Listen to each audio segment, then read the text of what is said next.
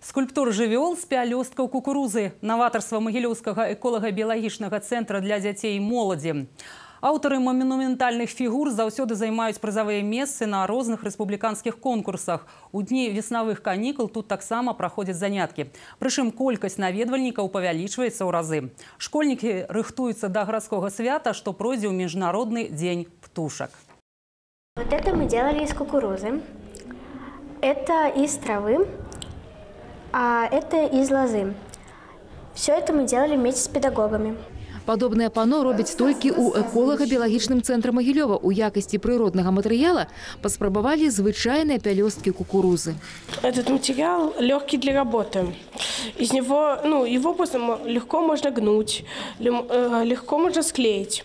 Из него вот очень красивые шарики получаются, их можно покрасить и повесить дома, например. У час веснавых канікул тут шматлюдна 1 красавіка адзначаецца міжнародны дзень птушак.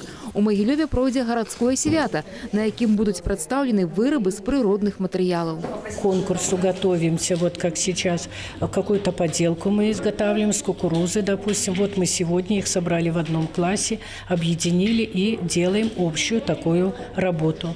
Ну, конечно, мы уделяем большое внимание безопасности детей. Школьнікі ў канікулы занятыя карыснай справай, не спыняюць работы па стварэнні манументальнай скульптуры з пялёсткаў кукурузы.